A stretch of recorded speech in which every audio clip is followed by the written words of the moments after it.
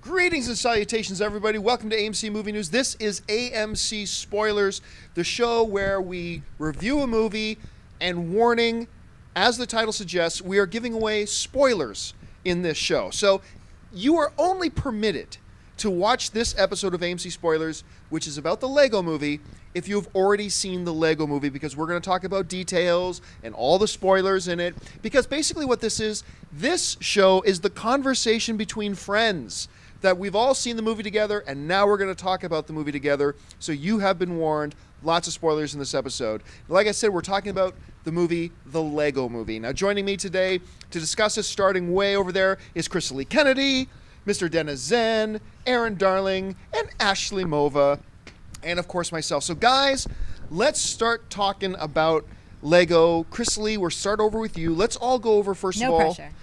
yeah, we'll talk about the positives. Let's talk about the positive things about this new movie, Lego. Let's start with you. I, I, I, the only thing I can say is that it was perfection on a lot of different levels. It gave me exactly what I wanted as an adult. It gave a great entertainment for kids, and I also think that there was a, a great story for both adults and kids to enjoy. So I have nothing wrong with this film. I think it was perfect. Dennis, some of your Oh, positives. I, I thought it was fun, funny, charming. Uh, animation was great. Uh, I, I actually think it's actually more. It's it, it's a movie that's disguised as a kids film that's really for adults because there's a lot of humor in there that's that only like teenagers and above are gonna get. So I, I think it's excellent. Best movie of the year that I've seen so far. Erin? It's only February, so uh, hold on to your horses, Dennis. I like this movie a lot. I thought it was very smart. The comedy was clean, but also very entertaining, um, well paced. I would almost say uh, relentlessly entertaining. It just kept going and uh, pushing along in a way that was really easy to enjoy. And I love pretty much all of the actors and their chops voicing these Legos. It was amazing to see that. Right. Ashley, your positives? I thought the casting for the voices was so spot on. I couldn't have thought of anyone better to act as these characters. Will Ferrell obsessed with Will Ferrell and the amount of detail that they gave with the shower was Legos. Like the water was Legos. I never would have even thought of to do that. So I thought that was really awesome. you know, you pointed out the voice acting. I'm one of these guys where I don't generally I don't care who the voice like I don't feel like you need to get celebrities to do voice acting. Go get real voice actors. I cannot imagine this movie without Chris Pratt voicing Emmett. Mm-hmm. Like it was so Chris Pratt. Like he he inhabited that that character It was so amazing. The animation, I sometimes forgot that it was animated and not stop motion. Mm-hmm. They simulated the movement of Legos so perfectly from the mm-hmm. way they would walk and the mm-hmm. stiffness and it you you had to remind yourself this isn't stop motion this is actually animated. Incredible. One of the points for me is going to be a positive and a negative but I'll get to the negative part in a second. But you mentioned the pacing Erin. When I came out because I saw it with Dennis when I saw it for the first mm-hmm. time and when I came out the word all the only word I could have in my head was frantic. The Right. pacing of this movie is frantic. Right. There is always 50 things happening on screen to look at and listen to all the same time and it never pauses for you for for you for a second to ingest it and let it mm-hmm. settle. It's because the next second has 50 more things, and the next second is, and it just is all coming at you like this big crashing wave, and it makes the movie feel like it's 15 minutes long because it just it moves at this incredible pace and i can't even remember half the great things about the movie because something great and funny would happen but two seconds later another great funny thing happens and i've totally forgotten about what happened before it so i thought and, and this is one of the best directed films i've seen in a while this movie is all lord and what's the other guy uh, Chris Miller and Phil Lord. Miller and Phil Lord. This is all them, the same directors who gave us uh, Cloudy with a Chance of Meatballs and 21 Jump Street, uh, same directors who did Lego Movie. This is all them. Like th- from everything, from the way every scene is shot to the, to the dialogue and the pacing, and it's just a great mixture of emotion and comedy and nostalgia and all of this kind of rolled into one. I will agree with Dennis that while yes, it is very early in the year, I have a very hard time envisioning that the Lego movie is not going to end up in my top 10 favorite movies of the year. If 10 more movies come out this year that I enjoy more than Lego movie, this is going to be one hell of a year for movies. So, um, yeah, that's just a, a few of my positives. So, Chris Lee, let's start back down on your end again. Try to. What thing? Now, you said you had nothing negative to say about it. What was the one thing that you think was maybe a 9 out of 10? What was something that you think maybe could have been done a little bit better? I actually don't have a negative, and it's funny because I, maybe it's the ADHD in me, or maybe it's the inner four-year-old. But I loved that nonstop, constant pacing and the constant change because it kept my my entertainment. I just couldn't stop laughing, and I feel like because it is geared towards kids, as much as the adults are going to love it, kids need that constant change. so I I really can't find a negative. Dennis, what would you think would have longer. to be improved about it? Want it to be longer? Uh, I think my only, it's a really tiny negative, is also from what I was saying was positive. Is I actually think it really is more for for older people because uh, you know there was a lot of jokes in there that like I, I just walked in there to catch the last 15 minutes before we did the review, and they do you know the Batman joke at the end. He's the hero you deserve. oh, or yeah, whatever. oh, yeah. Look, how, all no the all the that. adults are laughing. None of the kids. No kids He's were the laughing. boyfriend you deserve. So I felt like there was a lot of that, and I almost feel like it's less of a kids movie and more for you know people like us. Erin? Batman, what a jerk, right? Yeah. He was great. Um, I had a couple of things that annoyed me. One of them being the "Everything Is Awesome" song because it's like the song that never ends. You hear it a million times, and you walk out of the theater singing it, annoying everyone in your presence. Second thing, I kept wanting to call the Kragle a kegel, and Yeah, that yeah. is personally a problem for me. I'm like, Oh you guys remember the part with the kegel? No, okay, sorry. Ashley? That's great. Um, you know, I love the movie, and it was obviously very awesome. But I thought that there were a few parts in the movie where I thought it was about to end. I thought he was going to save the day, and this is the end, and we're all going to go home happy. But then it came back about three or four times where I expected him to save the day, and I expected the movie to end, but it continued on. Like the story continued on. So. I almost thought it could have been a little bit shorter because the story in the middle, I love the ending, but the story in the middle, I felt like it was about to end about like three or four times. Uh, I, I like I got a stretch here for negatives, Mm. uh, which is going to what I said was a positive: the frantic pacing.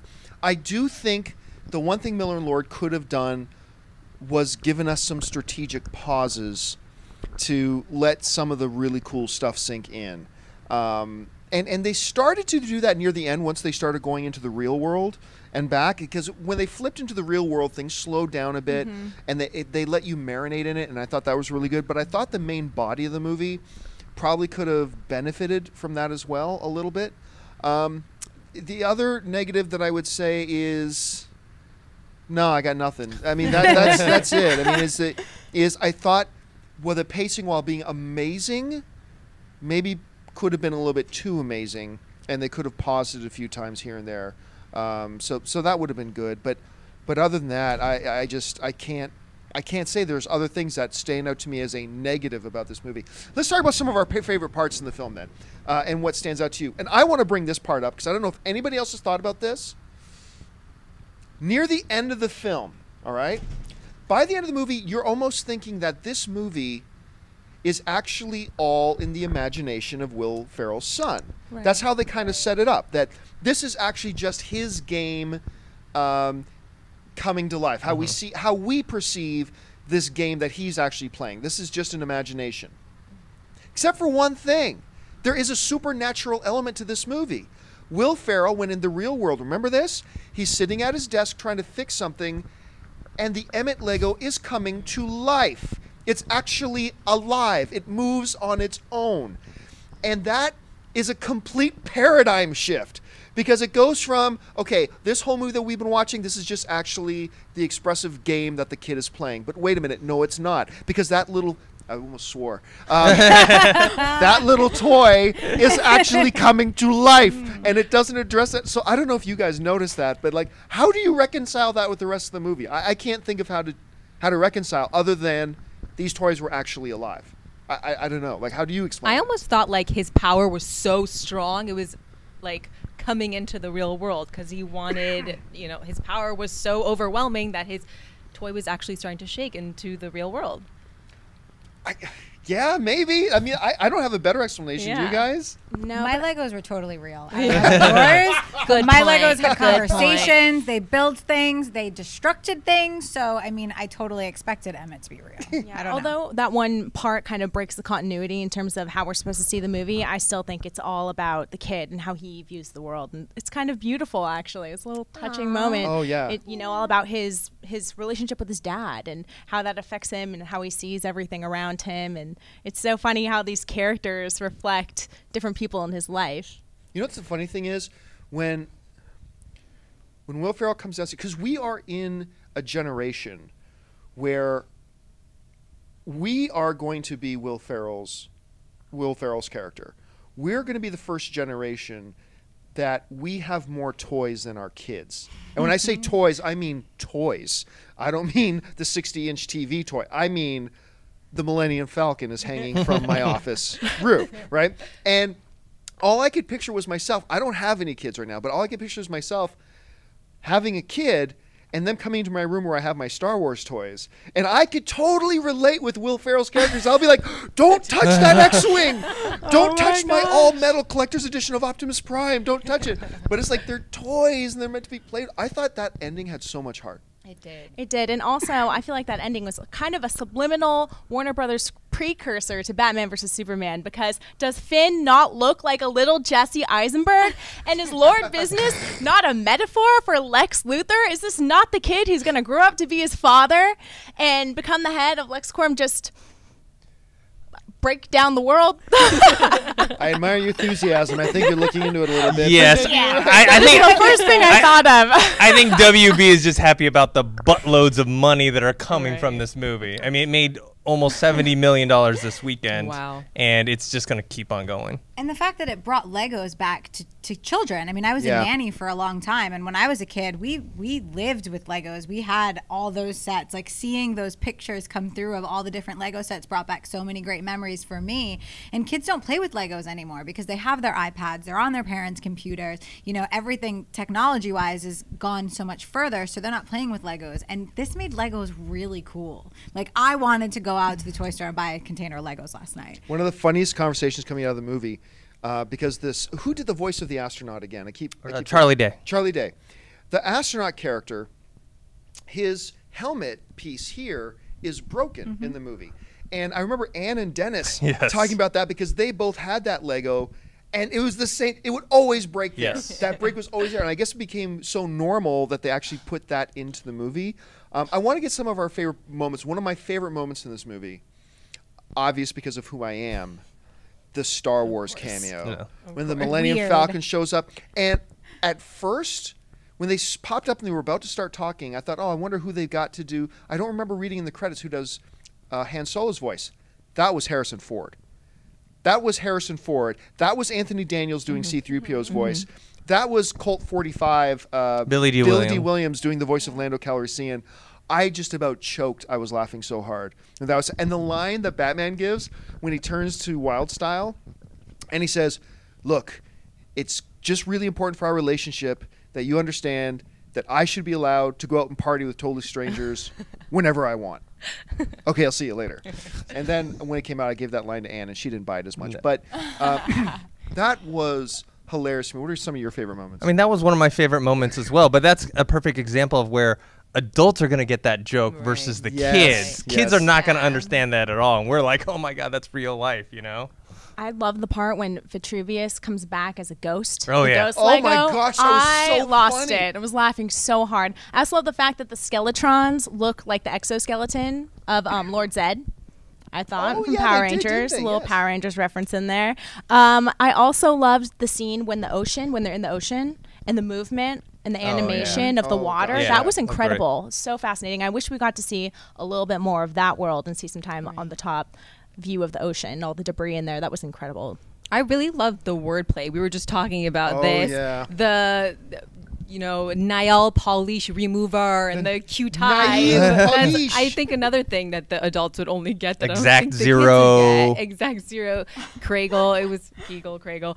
Um, yeah, I loved the wordplay in that movie. It was so great. What were some of your favorite moments, Chris Lee? I some I was just gonna say those are some of my favorite moments as well. That when when they brought in the human elements to the world, which Mm-hmm. made you realize that this was really happening because they had you know the band aid, which they called Right. the cloak of Bandy Odd. You know what I mean? Like there were just some really great moments of, of of things like that where you knew that this was going to be bigger than just a Lego movie, um, and also like who would have thought chewing gum could take down Superman? um, the Cobie Smulders as Wonder Woman rumors were true because she's Wonder Woman in the Lego movie. I mean, there were some really fun moments just as a fan of of Legos and then of all the superhero characters. I mean, Jonah Hill as Green Lantern. First of all, the fact that they made Green Lantern annoying is hysterical and made me so happy. And I also love that they kind of made Batman a jerk. Like they kind of played a little bit, and I had fun with that. But that. they didn't go too jerk. It's like that one scene I mentioned when he ditches her to go off with the Star Wars guys. It was actually just him getting the power cord, that they hyperdrive, yeah. for the Yeah. hyperdrive to come back. And that scene was so well played because after he leaves with them, they're doing the stereotypical Hollywood thing where, you know, the girl's been spurned by the jerk. And the hero comes in. It's like, you know what? You deserve so much better than that. And he comes right back. The timing of that scene was so good, but also the that whole thing. I don't know why I laughed myself silly because I didn't hear anybody else in the audience laughing nearly as hard. but I was like leaning forward in my seat when Superman is captured and they put him in that little pod. And he goes, "This is awful. The only thing that would make it worse is," and the camera gets wider and he's right beside Green Lantern. We're roommates. We're roomies. Hey, how cool is? Oh, uh, does anybody have some kryptonite? Like I thought that was hilarious. And like I think three different points in the movie, she says her name is Wyldstyle, and as soon as she does, somebody has to ask, "Are you a DJ?"